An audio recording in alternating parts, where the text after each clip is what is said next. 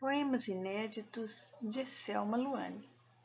Poema número 92. Generoso. Que gorjeio! De beleza, de alegria, de prazer, enche-nos o espírito.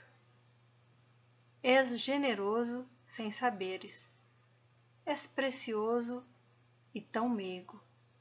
Mesmeriza-nos o teu natural Ninguém cuida de ti, ninguém a ti defende, ninguém por ti aflige.